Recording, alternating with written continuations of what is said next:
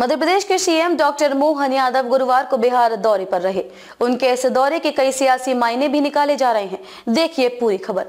नमस्कार, मैं श्वेता, आपका द खबरदार न्यूज़ में स्वागत करती हूँ। तो चलिए रुक करते हैं आज की प्रमुख और बड़ी खबर पर। मध्य प्रदेश के सीएम डॉक्टर मोहन यादव गुरुवार को पटना पहुँचे। श्री कृष्ण मेमोरियल हॉल में श्री कृष्ण चेतना विचार मंच की ओर से उनका अभिनंदन किया गया। उन्होंने बिहार के लोगों को मध्य प्रदेश में व्यवसाय करने के लिए न्योता दिया। उन्होंने ये भी कहा कि लोकतंत्र को ज़िंदा रखने में यादव समाज की भूमिका अहम है। इस कार्यक्रम के बाद मोहन यादव बीजेपी ऑफ़िस पहुँचे, जहाँ पार्टी पदाधिकारियों के साथ उन्होंने बैठक की। वो इस्कॉन मंदिर भी गए।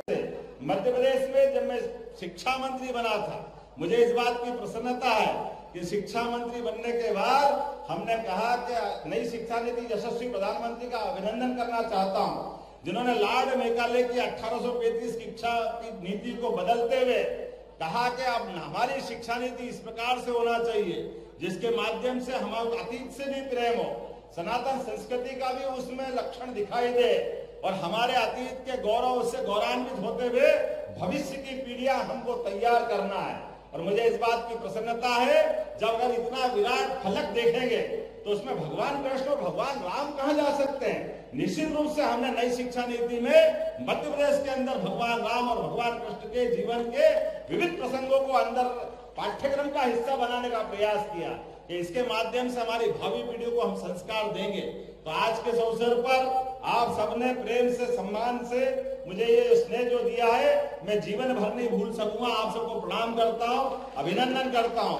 और आपके माध्यम से दो जानकारी देते हुए आपकी बात करूँगा कि जब मैं मुख्यमंत्री बन के आया और लोगों ने कहा कि आपकी प्राथमिकता क्या क्या होगी तो हमने कहा हमारी प्राथमिकता तो जनता की सुविधाओं के लिए होगी हर आदमी के जीवन में बदलाव लाए, भौतिक सुख सुविधा दे, बाकी व्यवस्था करे। लेकिन एक और प्राथमिकता भी है। वो प्राथमिकता क्या है?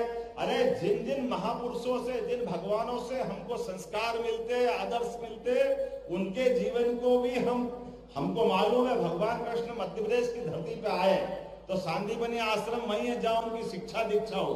तो उनके शिक्षा दीक्षा के पाठ्यक्रम को सबके सामने लाते हुए जहाँ जहाँ उनके चरण पड़े, प्रत्येक स्थान को तीर्थ के रूप में विकसित करेंगे, हमारे पूरे समाज को प्रेरणा मिले। इसलिए उस चीज़ को जोड़ करके हम आगे बढ़ रहे हैं। मेरी अपनी ओर से आप सबको भी निमंत्रण है। आप कभी भी आए, मध्य प्रदेश में आए अपने किसी प्रकार के व्यवसाय को करना, व्यवसाय करे। आपको स्थायी बसना, स्थायी बसे। परमात्मा करे आपको अपने अपने ढंग के जो जो आपके इष्ट है, वो सबकी प्राप्ति हो। एक बार फिर आप सबका वंदन करता हूँ, अभिनंदन करता हूँ। मेरे साथ प्रेम से बोलिए बोलो, गोपाल कृष्ण, भगवान की एक अनुमान के मुताबिक बिहार में चौदह दशमलव छब्बीस प्रतिशत यादव की आबादी है। देश में 25 करोड़ यादव हैं और मौजूदा समय में मोहन यादव इस समाज के अभी इकलौते मुख्यमंत्री हैं। ऐसे में बीजेपी मोहन यादव से क्या सियासी निशाना साधना चाहती है। खबरों में अब तक के लिए बस इतना ही। फिर होगी आपसे मुलाकात ऐसी ही किसी बड़ी खबर के साथ। तब तक के लिए नमस्कार और देखते रहिए द खबरदार न्यूज़।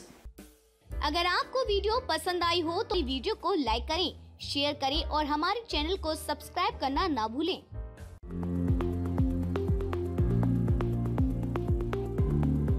अपने सपनों का घर बना रहे हैं। एपी कंस्ट्रक्शन सॉल्यूशंस आपके लिए तैयार है।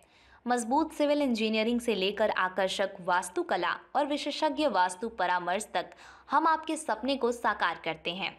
वास्तुकला वास्तु और हुनर इतने बढ़िया दिए गए नंबर पर कॉल करें और अपने घर के डिज़ाइन को चमकाएँ। Please visit the Mountain Cafe and Bakery for fast food near by Suhagi bypass